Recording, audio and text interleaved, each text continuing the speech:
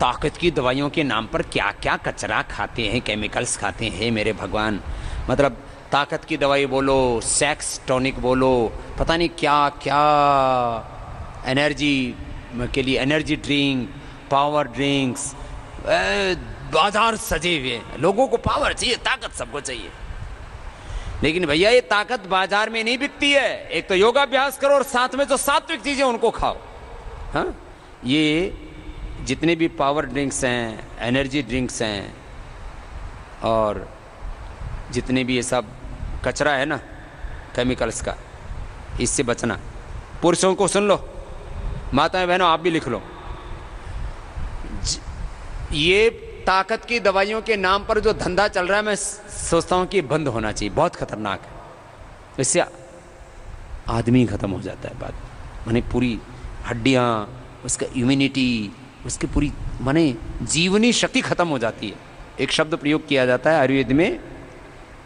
जीवनी शक्ति स्टीराइड से और ये तमाम जो केमिकल्स की ताकत की दवाई है ना ये, इससे ये खत्म हो जाती है। तो क्या करो? पुरुषों के लिए अश्वगंधा, शतावर, सफ़ेद मूसली, कौच के बीज। पहले कौच के बीज नहीं मिलता था, सफ़ेद मूसली नहीं मिलती थी, वो भी अब आपको उपलब्ध करवा दी गई है। पतंजलि चिकित्सालयों से मिल जाएगी। अश्वगंधा, शतावर, सफ़ेद मूसली, कौच के बीज हम चाहते तो इसको ऐसे ब्लेंड करके बनाते और उसको जो है पावर की ताकत की दवाई के नाम पर हम कुछ भी कितने महँगा बेच सकते थे। जैसे चाइना वाले जिंगसंग को बेचते हैं ना? चाइना में एक अपने अश्वगंधा जैसी एक जिंगसंग होती है। उसके कैप्सूल एक एक कैप्सूल पाँच पाँच सौ रुपये का बेचते हैं पाँच सौ रुपये का। और हमारी अश्वगंधा से, के बराबर इफ़ेक्ट है उस, मैं कम तो नहीं बताऊँगा जिंगसंग के नाम पर, ऐसी महँगी। मैंने मार्केटिंग कर, देखो मार्केटिंग एक अलग चीज़ है, और जो एक्टिव कंपोनेंट्स हैं किसी भी मेडिसिन के, वो अलग चीज़ है। ये मैं गुण धर्म के आधार पर बात कर रहा हूँ। तो क्या बताया? अश्वगंधा, शतावर, सफ़ेद मुसली और कौच के बीज।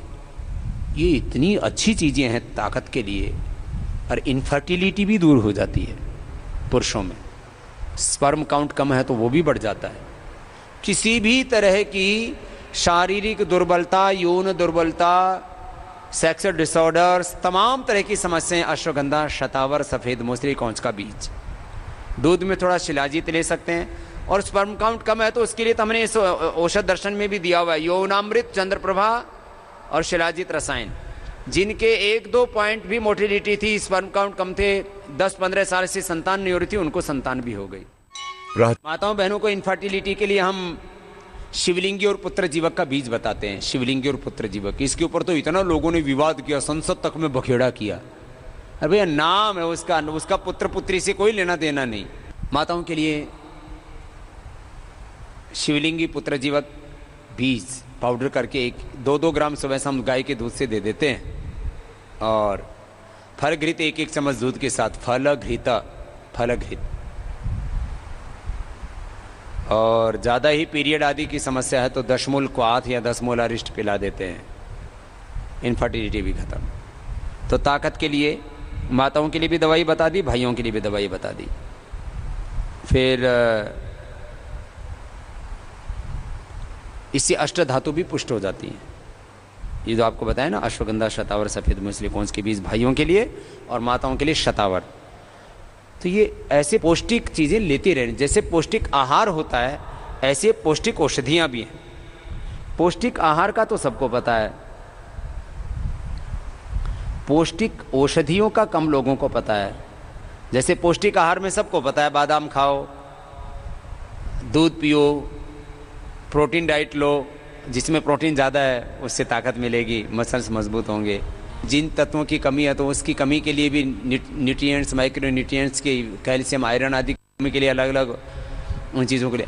पौष्टिक आहार में जैसे फल हैं, पौष्टिक आहार में जैसे दूध है, दही है, ऐसे अच्छी चीज़ों का सेवन करते हैं। ऐसे पौष्टिक औषधि भी है तो माताओं बहनों के लिए सबसे अच्छी पौष्टिक औषधि क्या है, बोलो?